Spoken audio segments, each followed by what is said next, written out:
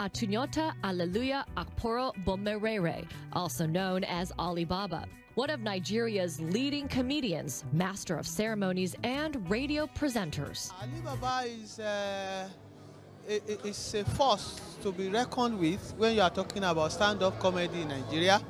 Uh, there's no way you're going to talk about uh, stand-up comedy that uh, Alibaba will not come in. He has uh, created a platform for so many uh, comedians to come up. Yeah, so we, we, I thank God for his life. If another business where Alibaba and wife want to do, they wash them. Useless idiot boy. Alibaba is a criminal.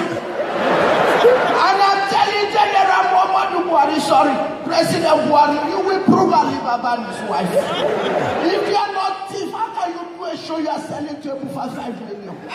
Yeah, Baba is a grand comedian of the Federal Republic of Nigeria. Baba is the one who looked at me and said, small boy, come Lagos. Baba is the one who put me under his shelter and gave me food, gave me so, so many things that transformed my life to becoming AY. So Baba is Baba, and his name is his name is Ali. Whole thing down for a long time. You know, I mean, I know he has his he's he's gained a lot of experience over time. You know, he's certainly one of the best in the entire entertainment business. I mean, he's someone a lot of people look up to as well. You know, I mean, so you know, that's that's pretty much as much as I know about him, and you know, I guess that that that, that that's good enough. You know.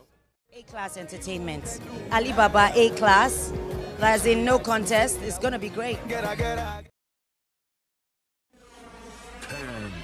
nine, eight, seven, six, five, four, three, two, one.